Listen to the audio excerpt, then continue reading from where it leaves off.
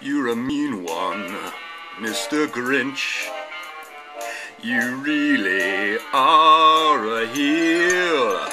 You're as cuddly as a cactus. You're as charming as an eel, Mr. Grinch. You're a bad banana with a greasy black peel. Ha ha, it's nasty.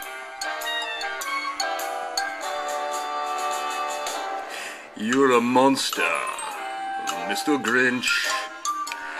Your heart's an empty hole. Uh, your brain is full of spiders. You've got garlic in your soul, Mr. Grinch. I wouldn't touch you with a 39 and a half foot pole. Um, you're a vile one, Mr. Grinch. You have termites in your smile. You have all the tender sweetness of a seasick crocodile, Mr. Grinch. Given the choice between the two of you, I'd take the uh, seasick crocodile. Oh, smells like the sea.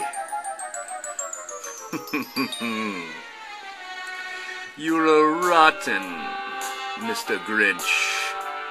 You're the king of sinful thoughts. Your heart's a dead tomato with blotched with moldy purple spots, Mr. Grinch. You're a three-decker sauerkraut and toadstool sandwich with arsenic sauce.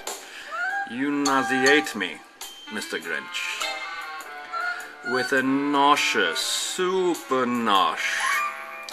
You're a crooked jerky jockey and you drive a crooked horse, Mr. Grinch.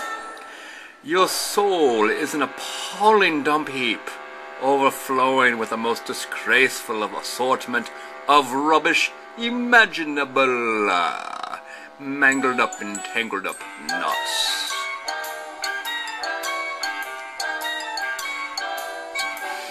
Mickey's break. Take it to the malt liquor. You're a foul one, Mr. Grinch.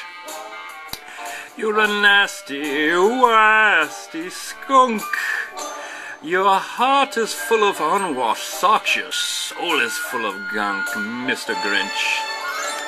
Three words that best describe you are as follows, and I quote Stink, stank, Stug.